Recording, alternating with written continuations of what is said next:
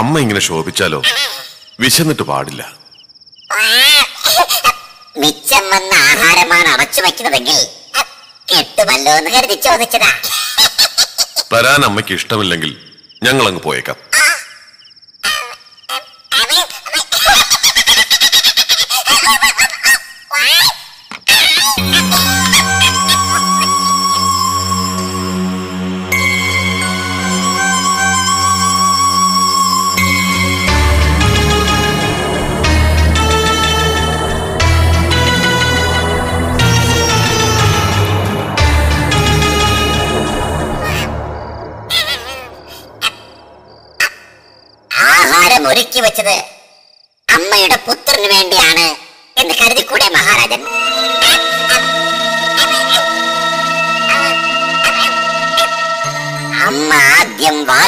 തുറന്നു വന്നതും പുത്ര എന്ന് വിളിച്ചുകൊണ്ടായിരുന്നുവല്ലോ?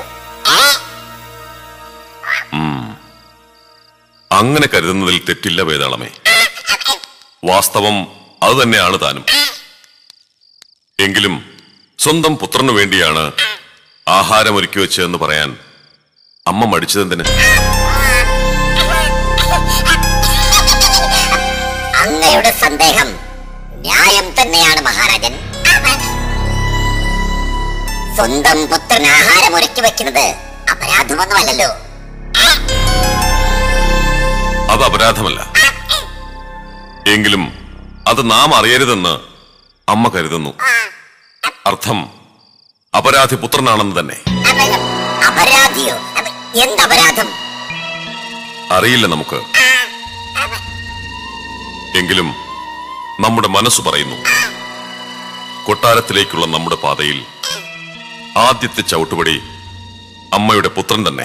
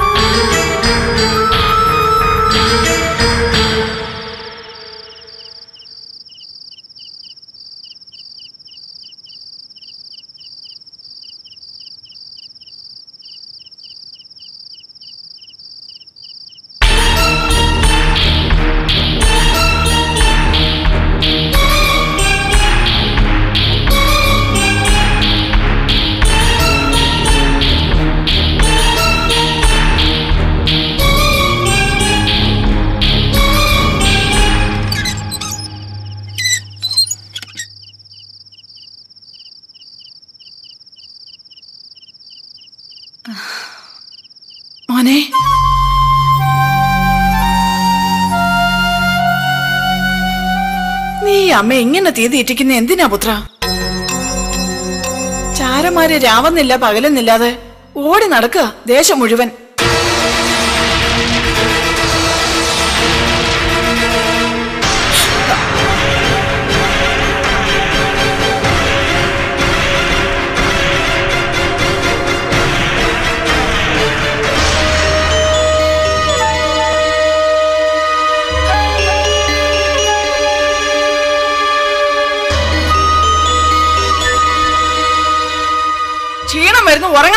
പോയതല്ലേ നീ?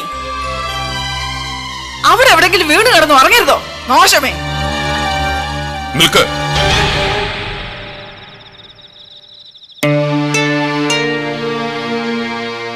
എവിടെയാണ് പോയത്? അമ്മയുടെ പുത്രൻ? അവൻ ചാരന്മാരുടെ കണ്ണിൽ പെട്ടാലോ എന്ന് അമ്മ ഭയക്കുന്നു. പറയ. എന്ത് അതിക്രമത്തിനാണ് അമ്മയുടെ പുത്രൻ പോയത്. വേഗം പറയ.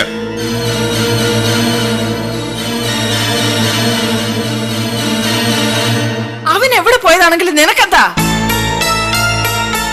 കിടക്കാൻ ഒരിടം ചോദിച്ചു വന്നവനാ നീ. നിന്റെ പാട് നോക്കി അവിടെ എവിടെങ്കിലും ചുരുണ്ടുകൂടി കിടന്നോണം.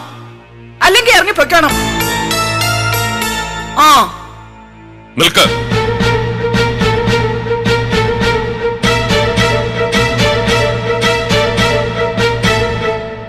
ശിഷ്യ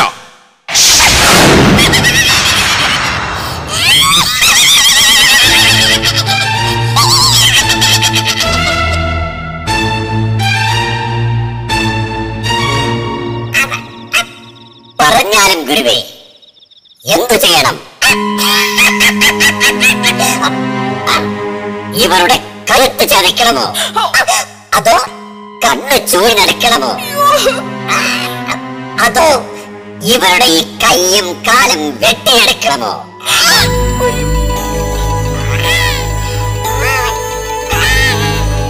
പരിഭ്രമിക്കണ്ട അമ്മേ.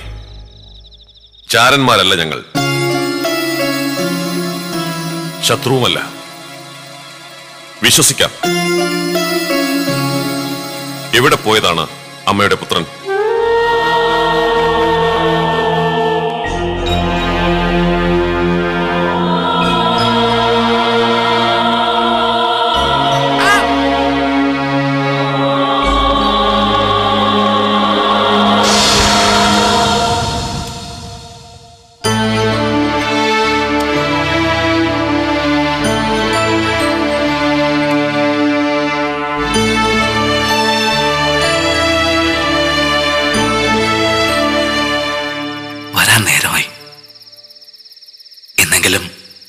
എല്ലാവരുടെയും കണ്ണു വെട്ടിച്ച് ഞാൻ രാജകുമാരിയെ കാണും.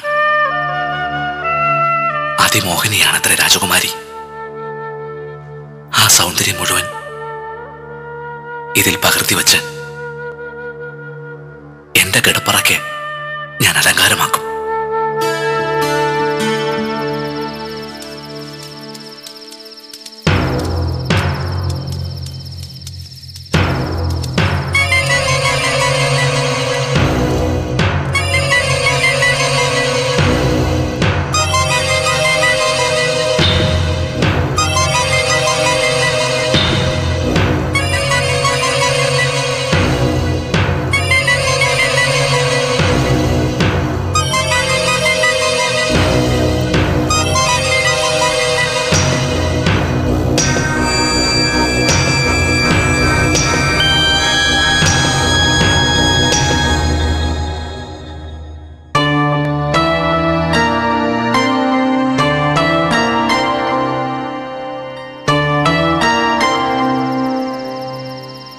പടയാളികൾ പരിസര വീക്ഷണത്തിന് വന്നതാണല്ലോ. രാജകുമാരിയുടെ എഴുന്നള്ളത്തിന് നേരമായി എന്നർത്ഥം.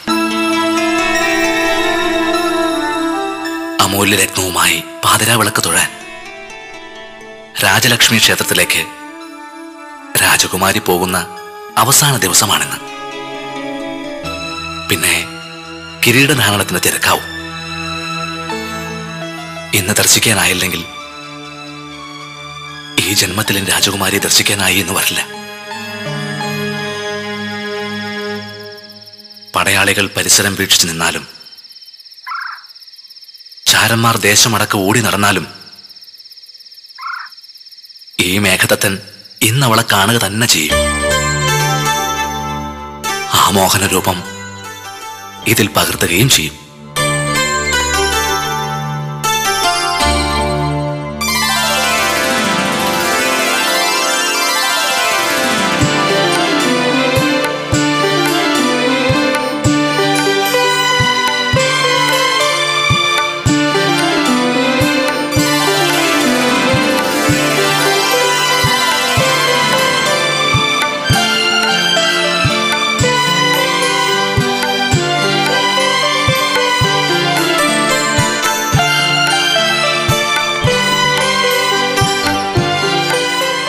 സോപാനപ്പടിയിൽ വെച്ച് തൊഴുത് നന്നായി പ്രാർത്ഥിക്കണം.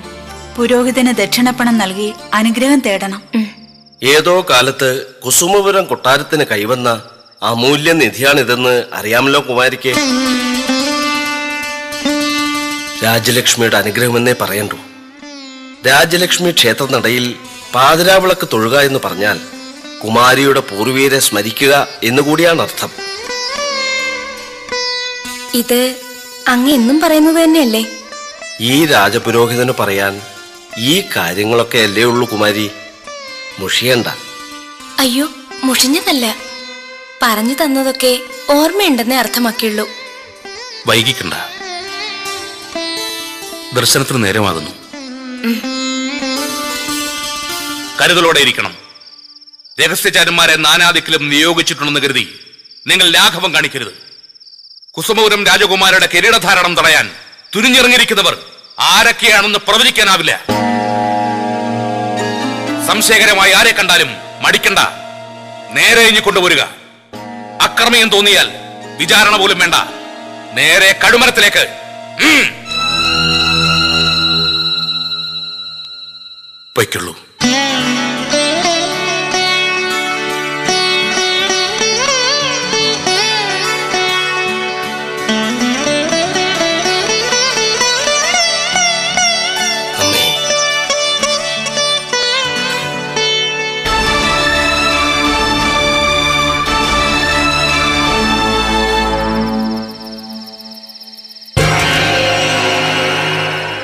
രാജകുമാരി പവിഴറാണി രത്നവുമായി ക്ഷേത്ര ദർശനത്തിന് ഇറങ്ങിയിട്ടുണ്ടാവും ഇപ്പോ.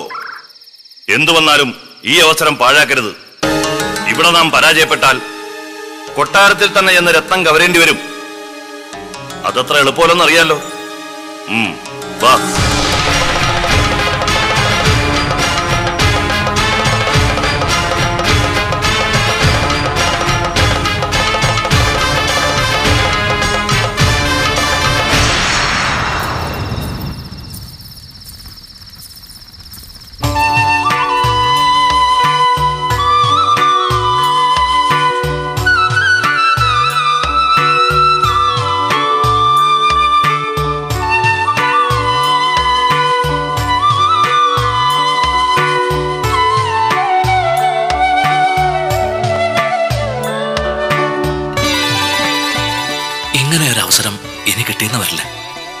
അടുത്ത് ചെന്ന് ദർശിക്കുക തന്നെ.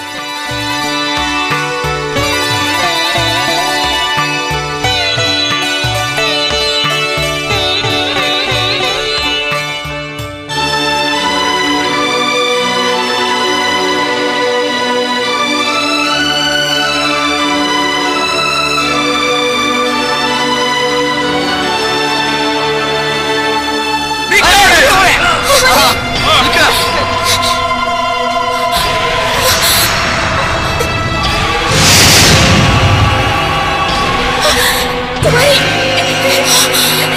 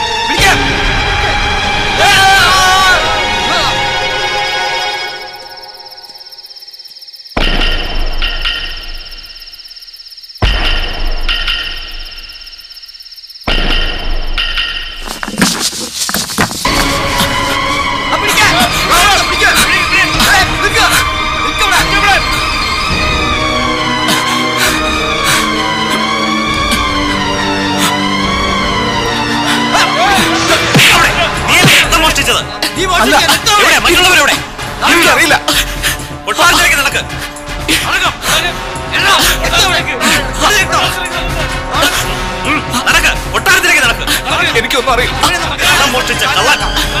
നീ തന്നെ നീ തന്നെയാണ് നടക്ക്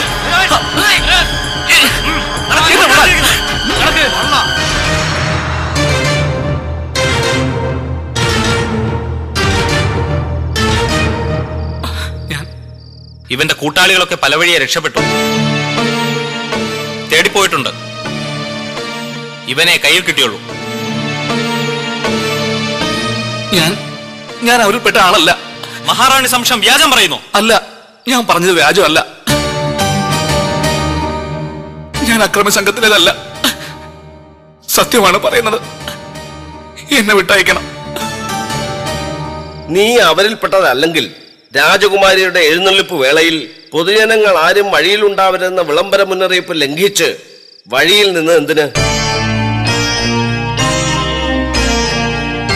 പറയേ. പാതിരാവിൽ രാജവീഥിയിൽ നീ എന്ത് ചെയ്യായിരുന്നു? പറയാൻ. മഹാറാണി ഇവൻ അക്രമി സംഘത്തിൽപ്പെട്ടതാണെന്ന് ഇവന്റെ പെരുമാറ്റത്തിൽ നിന്ന് തന്നെ വ്യക്തമാകുന്നുണ്ടല്ലോ ഇവന്റെ സംഘാംഗങ്ങളെ പറ്റിയോ? രത്നം എവിടേക്ക് കൊണ്ടുപോയി എന്നതിനെ കുറിച്ചോ ഇവനൊന്നും തുറന്നു പറയാത്ത സ്ഥിതിക്ക് രാജസഭാ സമക്ഷം വിചാരണക്കെടുക്കേണ്ടതില്ല അവിടുന്ന് ഈ നിമിഷം തന്നെ ഇവനുള്ള ശിക്ഷ വിധിച്ചാലും.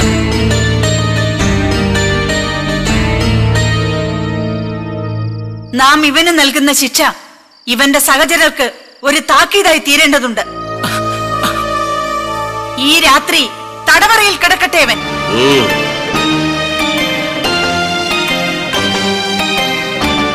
വെളുക്കുവോളം ചോദ്യം ചെയ്യുക. അറിയില്ല എന്ന് തന്നെയാണ് പിന്നെയും ആവർത്തിക്കുന്നതെങ്കിൽ നാളത്തെ പകലിൽ തന്നെ ഇവനെ കഴിയിലേറ്റുക.